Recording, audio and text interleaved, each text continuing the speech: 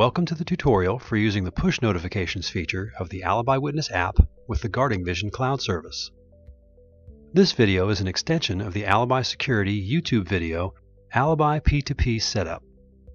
Before performing the procedures outlined here for push notifications and sharing, make sure that you have installed the Alibi Witness 2.0 app, version 3 or later, on your Android or iOS mobile device, and set up a Guarding Vision cloud service account. A push notification is a message sent to your Alibi Witness app when a particular system event occurs. There are three categories of events. Camera events, including motion detection, loss of video, video content analysis events, camera alarms, and others. These largely depend on the capabilities of the camera. Alarm input events detected by switches or reporting devices wired to the alarm terminations on the back of the recorder or to camera alarm inputs and exception conditions detected by the recorder, such as HDD full, illegal login, etc. To use push notifications with Alibi Witness, you must do the following. Configure your recorder to send push notifications. The recorder must be connected to a network that has internet access, and a Guarding Vision account must be set up. In this video, we'll show how to create push notifications for an alarm input event and a camera event. Configure Alibi Witness to receive push notifications. In Alibi Witness, push notifications are enabled at both the device level and at the app level. Manage push notification messages. Alerts in Alibi recorders can be set up to push capture files and videos. These can easily be played in Alibi Witness. Configuring your recorder to send push notifications is generally a two-step process. 1. Configure the recorder to sense an alarm event, and 2 enable the Notify Surveillance Center option in the Linkage menu for the event. To configure an alarm input event at the system console, log into the system with administrative credentials and then open the main menu. For this alarm event setup, a normally open sensor at a door is connected to alarm input 1 on the recorder, and camera A2 is pointed at the door and the entranceway. So when the door opens, we can capture an image of the scene attach it to a push notification, and send it to Alibi Witness. Click the Configuration icon. In the Configuration menu, click the Alarm link in the left column, and then click the Alarm Input tab. To set up a push notification for Alarm Input 1, select Local Input 1 in the Alarm Input Number field. Select the alarm type, normally open or NO for this alarm, and then click the Enable box to check it. Next, click the Settings icon. In the Trigger Channel tab, we'll select channel A2 to capture an image from that camera when the alarm occurs. Click Apply.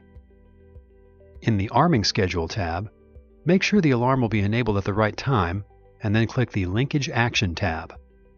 Check the box to Notify Surveillance Center. This option will create the push notification when the alarm event occurs. Click Apply and then click OK to close the settings menus. Click Apply in the Alarm Input screen to save the configuration. To configure a camera event at the System console, click the Camera icon in the main menu. We'll use a video loss event as an example for setting up a camera event with push notification. It is important to configure your camera and other events carefully because common alarms, such as motion detection, which occur many times a day, can generate a push notification for each, which can quickly fill your phone. To enable a video loss alarm, which usually occurs less frequently, click the Video Loss link on the left. Select the camera you want to monitor, for example, camera A1, and then check the box to enable Video Loss Alarm. Click the Settings icon. In the Arming Schedule tab, make sure the camera event will be enabled at the right time, and then click the Linkage Action tab. Check the box to Notify Surveillance Center to create a push notification when a video loss occurs. Click Apply, and then click OK to close the Settings menu. Click Apply in the Video Loss menu to save the configuration. To configure your Alibi Witness app to receive push notifications, you must enable push notifications at both the device level and the app level. At the device level, you can set up a schedule for when notifications from the device will be saved. At the app level, push notifications from all devices are either enabled or disabled. To receive notifications for a device in the Alibi Witness app, open the Home page and then tap the Device List icon in the upper left corner. In the device list, tap the device you want to configure for push notifications.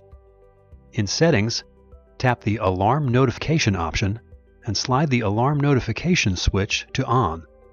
If the notification schedule switch is off, alarm notifications from the device can be reported all the time. You can slide the schedule switch to On, then tap Notification Schedule below to set up a time when push notifications will be saved in your phone. You can schedule for each day of the week for different hours. To enable push notifications at the app level, tap the More icon in the lower right corner. In the More menu, tap the Settings option. In the Message Push Notification option, slide the switch to On.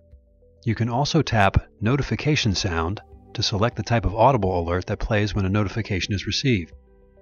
Tap the back icon twice to return to the More screen. When a push notification is received, it appears at the top of the screen.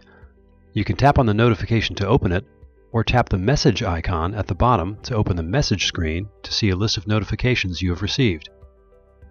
To view a notification, tap on it.